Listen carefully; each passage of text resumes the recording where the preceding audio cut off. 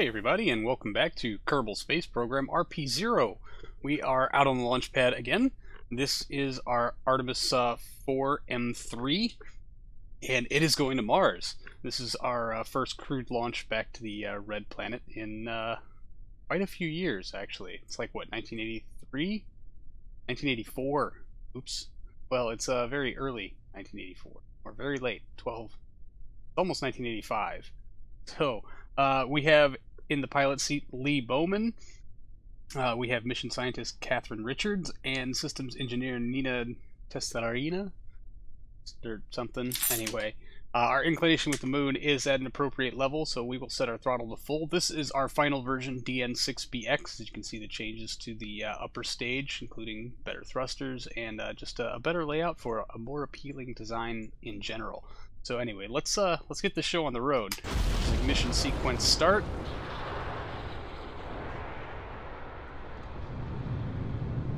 And we are all engines running. Let's get these launch clamps off.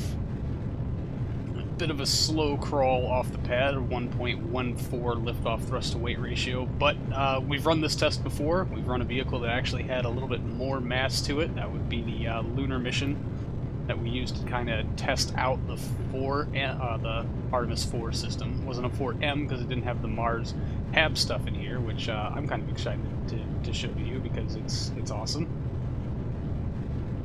So it looks like we have a good light.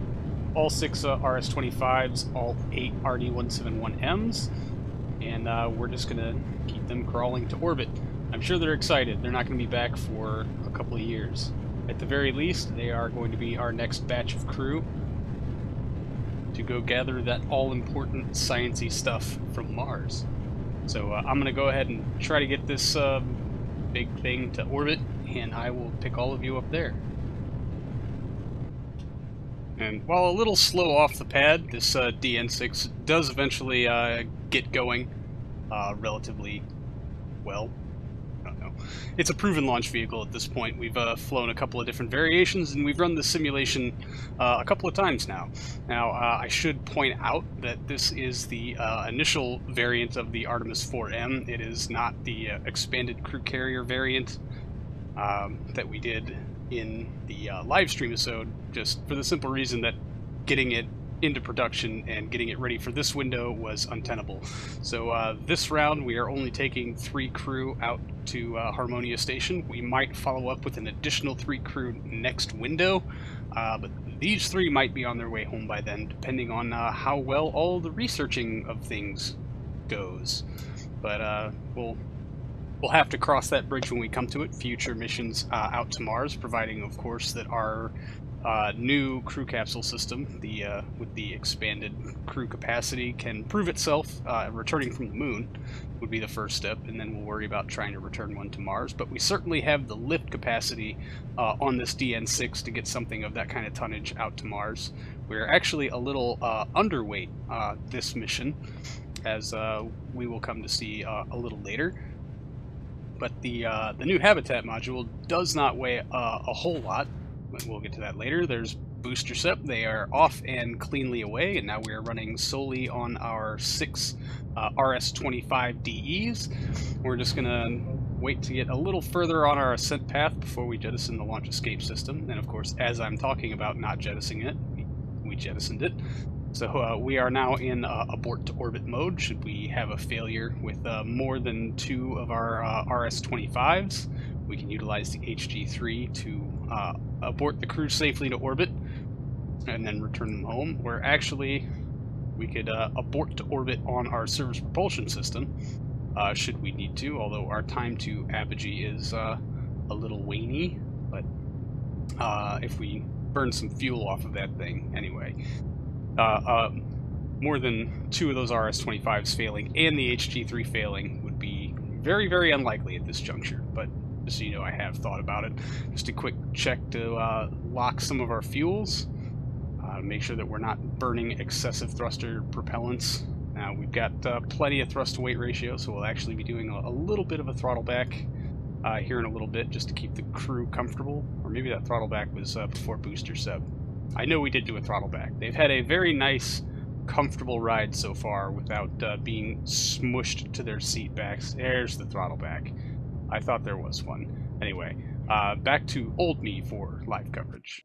All right, uh, 293 by 197. Man, we still had more than a kilometer per second left in our core stage.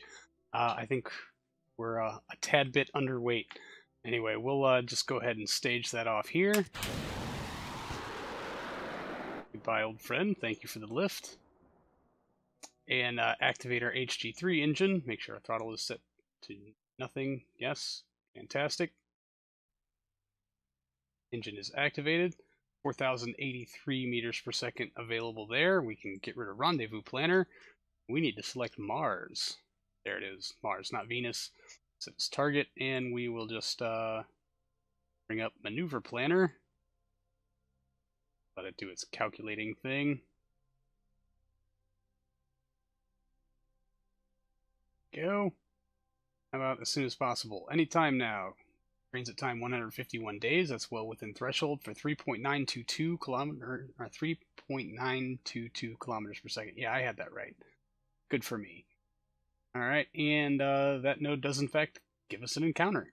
So we're uh, how long do we have before that? One hour and some coin. So good news. Uh, RCS to arm, and let's get ourselves facing into it.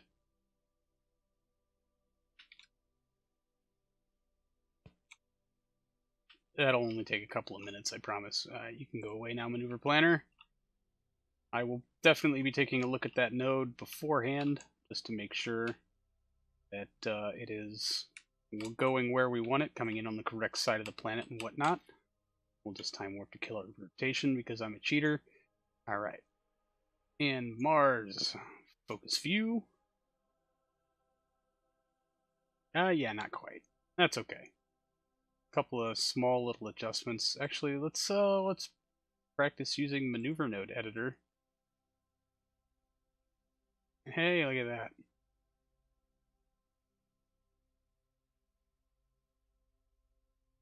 A couple little bumps of radial there. Bingo. Yeah, 75 kilometers. That's fine. For this target. Um, yeah, we should probably adjust for this 5.53 degree is uh, not exactly ideal. Nope, wrong way. Come on.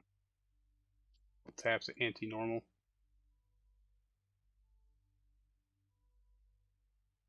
That's what I like to see. Our ascending node at 1.6 degrees. That is awesome. And we will, of course, bring that down uh, a little bit later. But one hour, 18 minutes until our burn. Uh, I think we've got enough electric charge to stave that off. We should anyway. So we'll just uh, take our quick lap here.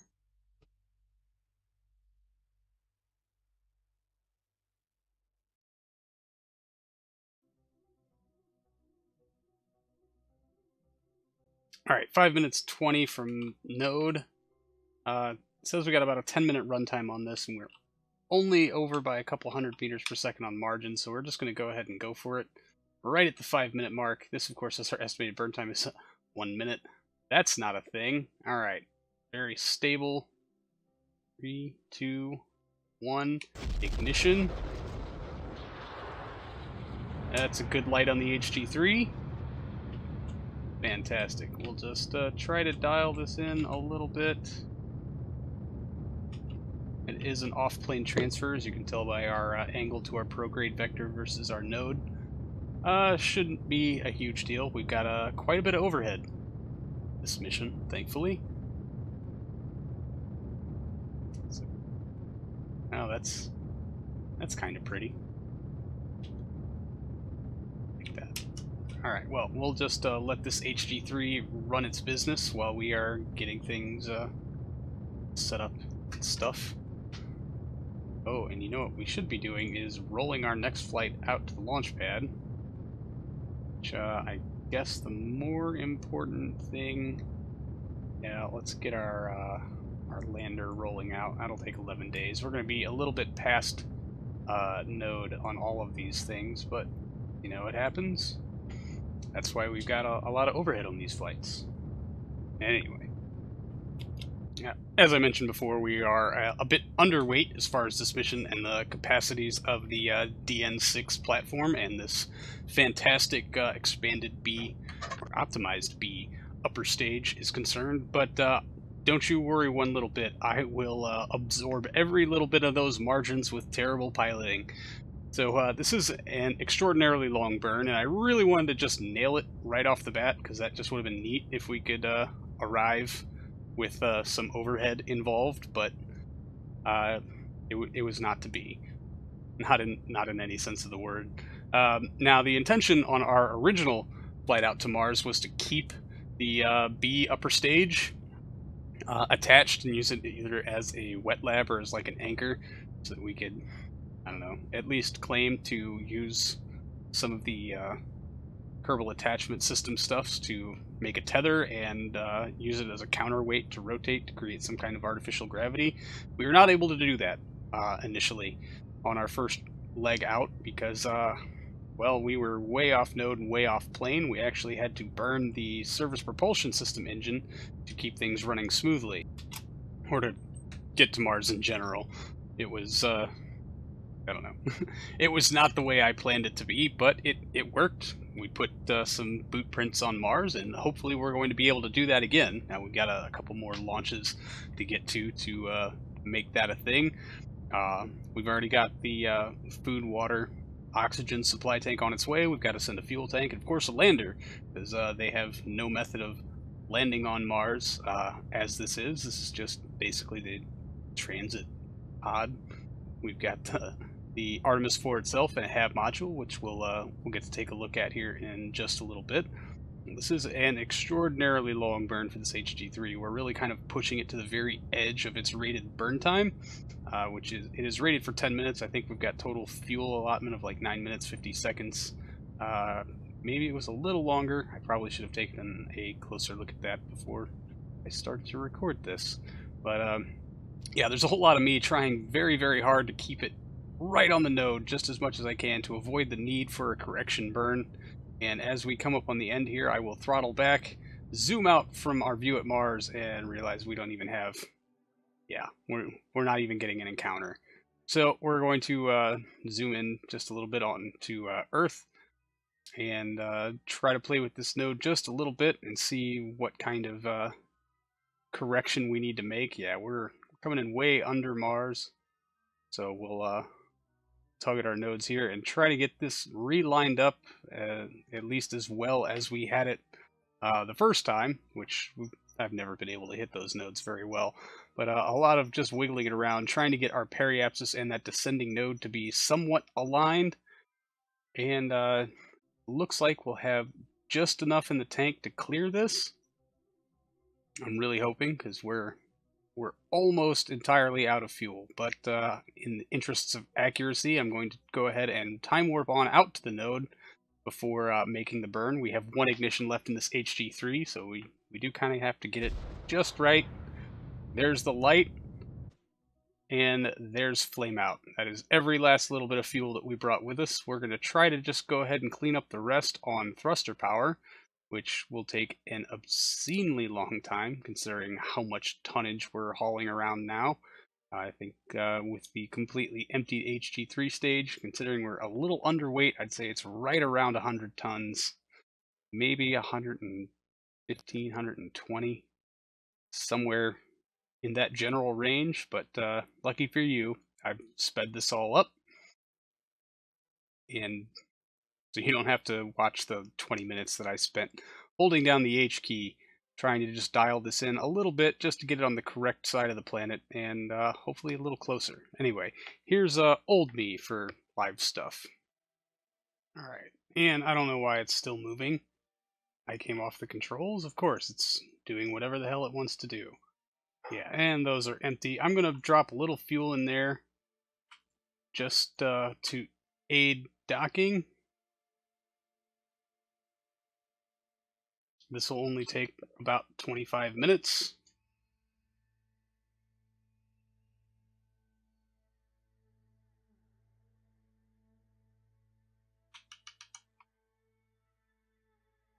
That should be well more than enough. All right, and it's time for the show. Jettison.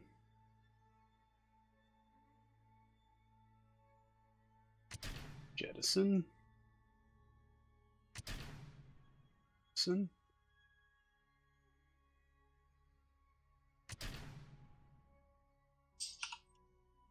Alright, and there's our new HAB module, set as target and control from here.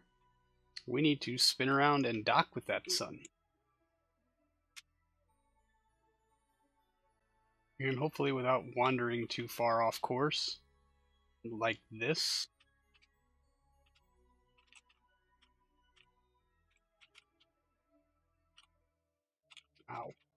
And we're closing pretty fast. We should probably uh, hit some brakes. Brakes. Brakes. Dunk. Oops. Found it.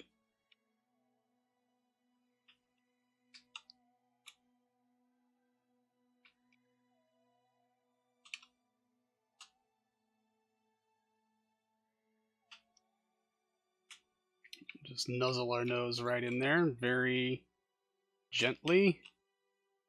Docked. Excellent. And start to deploy stuff. Cannot deploy while stowed. Seriously? Switch, switch back. No, I do not want to disable the RCS port. I would like to deploy my... Cannot deploy while stowed. Seriously? Alright, well, we'll extend the panels on the HAB.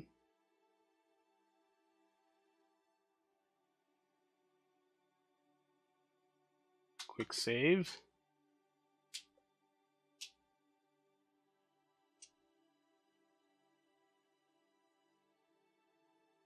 And go ahead and inflate these while we're here. There we go. These uh, extra life support uh, things, and we've got a fuel reserve up top. And more life support down there. Of course, another docking port to bring us into the Harmonia we can, uh, we will leave those fuels unlocked for now, because why not? All right, are any of you going to deploy?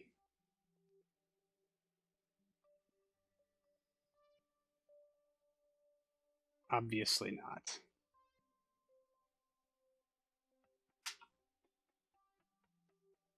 All right, well, we are going to leave our HG3 stage attached um, we're going to imagine that we have a uh, tether here so that we can spin and create artificial gravity on our way to Mars.